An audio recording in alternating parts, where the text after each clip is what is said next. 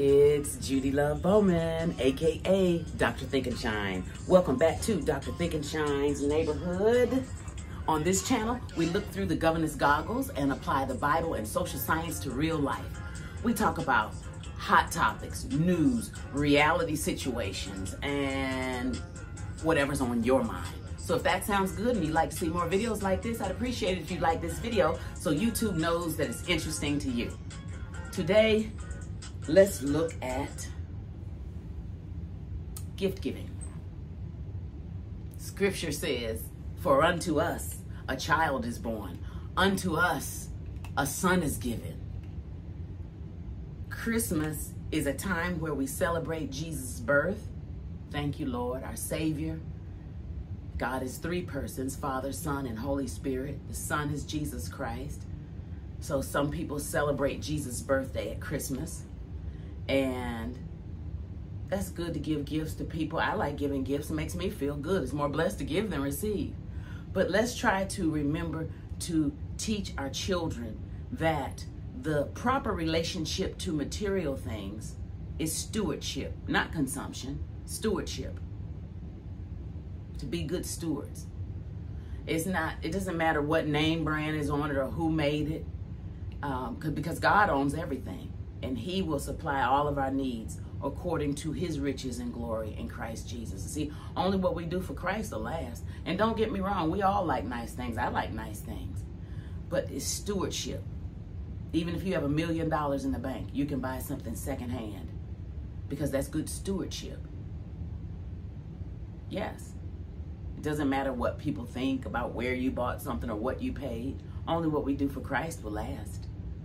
So I encourage you, and we do have a section in Harambee celebrations, 21st century African American celebrations and rituals, where we encourage people to make handmade gifts. They have a, there's in that book, there's a celebration, a sibling ritual, which encourages siblings to be close at birth or at a young age, not at birth, but at a young age. And they can make handmade gifts. It's the thought that counts. Now, some people don't have time, so they just order something and send the money, and that's fine. But God knows that only what we do for Christ will last. The best gift you can give someone is to tell them about Jesus.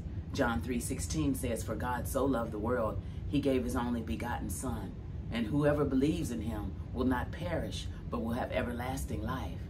And in Dr. Thinkenshine's book from the Dr. Thinkenshine series, Papa's Casket in My Basket, and you can see the video book over on our children's channel here on YouTube, Dr. Thinkenshine Goes to School. But in Papa's Casket in My Basket, Dr. Thinkenshine uh, narrates about a young boy who went to his grandfather's funeral and his parents were explaining to him that his body is in the casket but his soul is in heaven with Jesus. And when you accept Christ as your Lord and Savior, you live forever. Even if your body is temporary, the soul is eternal. And if you've never accepted Christ as your Lord and Savior, I invite you to pray with me right now. Heavenly Father, please come into my heart and be my Lord and Savior. Forgive me of my sins. In Jesus' name, amen. If you prayed that prayer, I believe you've been born again. God has great plans for your life. No weapon formed against you shall prosper. Greater is he that is in you than he that is in this world. By this time next year, God will have taken you places that you couldn't go on your own. So just keep him first place in your life. Thank you for joining us here on Dr. Thinkenshine, America's Lifeguard. And it's great to be here.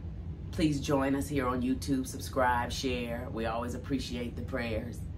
And I promise to keep you inspired.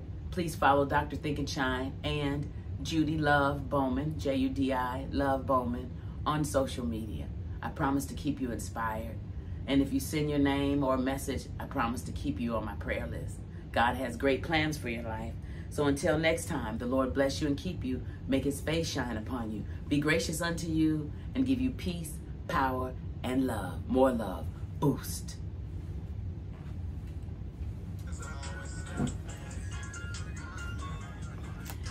Don't forget, don't spend a lot of money on Christmas gifts unless you have it and want to do it. Follow God. It's the thought that counts. Stewardship, not consumption.